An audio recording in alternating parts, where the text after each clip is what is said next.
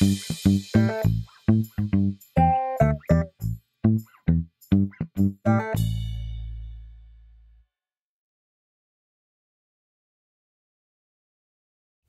back to Classic Gaming Quarterly TV. When you're sliding into first and you feel something burst, it can only mean one thing. You've got explosive diarrhea for the Atari 2600.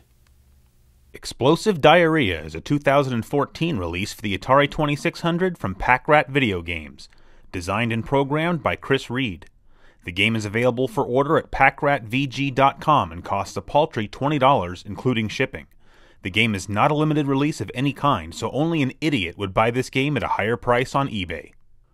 Contrary to what you might think, Explosive Diarrhea is not a sequel to 1984's Montezuma's Revenge.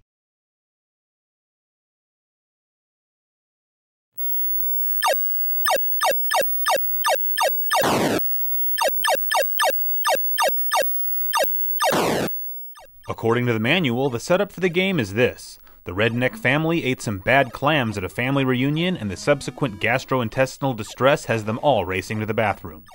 Do rednecks eat clams? I would think they would have been made sick by eating tainted barbecue or something. Anyway, an unfortunately placed minefield separates them from the only outhouse at their disposal. After each redneck makes it to the John, the minefield re randomizes so that the next person can't simply follow the same path.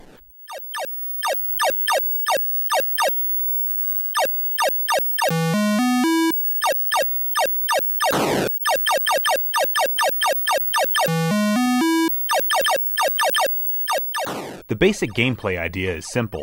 As you guide your character across the minefield, unless you get really lucky, you're gonna die.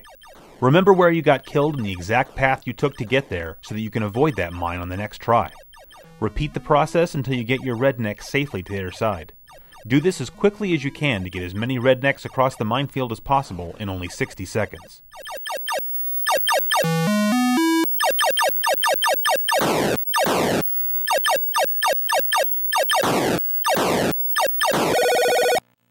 Playing this game, I can't help but think back to Atari games like Chase the Chuck Wagon and Tooth Protectors, and wonder if Packrat didn't miss out on an opportunity here. Both Chuck Wagon and Tooth Protectors were promotional games released by Purina and Johnson & Johnson respectively. Maybe Packrat should have approached Imodium AD or Pepto-Bismol before rushing this game to market. Can you imagine this game being released with a Pepto Pink shell?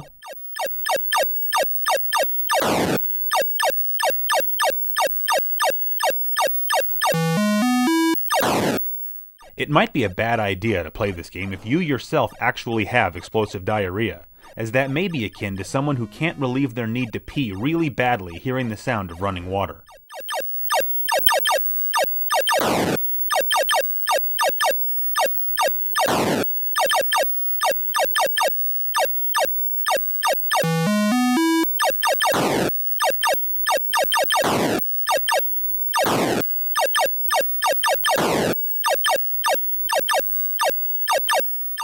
Explosive Diarrhea is definitely a fun game and an interesting conversation piece.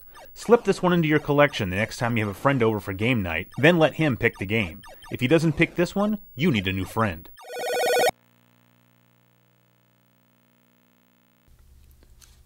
You want me to read all of these? Yeah, just go through all of them and we'll go with whatever sounds the funniest. I don't have to sing them though, right? No, no, just say them in your normal voice. Alright. Some people think it's funny, but it's really wet and runny.